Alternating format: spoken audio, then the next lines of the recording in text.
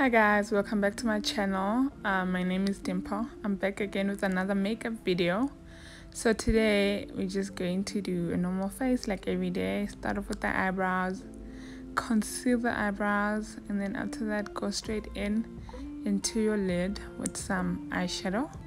So I'm going to be using yellow as my first color, my transition color. After that I'm just gonna pack orange, red, and on top, on top of the red I'm gonna do a purple so yeah now i'm just blending it all in together all the four colors i mentioned.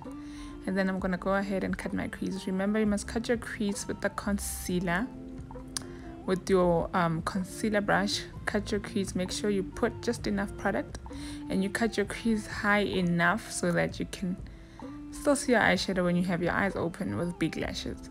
So my first color on my concealer on my um, cut crease is going to be a gold color. And then after the gold color I'm gonna go in with the shimmery orange color. Um, and then after that orange I'm going to go in with a bit of it's kind of it kind of looks like a pink or a reddish um, shimmery color as well.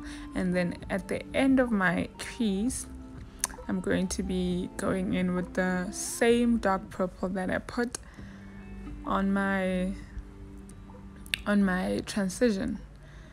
And then now I'm just making sure that all the colors are nicely blended with my eyeshadow brush.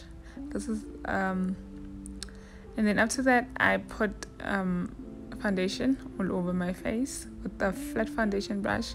After putting applying all my foundation with my flat foundation brush I'm going um, brush I'm going to uh, blend it out with my um, beauty blender just to let it uh, sit well on my face and yeah to appear nice and smooth. And then after all of that I'm going to conceal my I'm going to highlight actually highlight the whole of my face under my eyes on my forehead bridge of my nose and my chin. After that I'm going to blend it out with a blending sponge.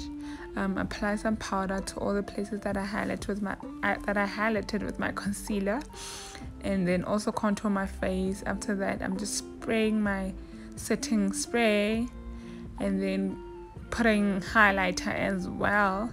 So yeah that was a really short simple look. I hope you guys enjoyed it. Um, stay tuned for more of my videos and don't forget to subscribe and like this video. Thank you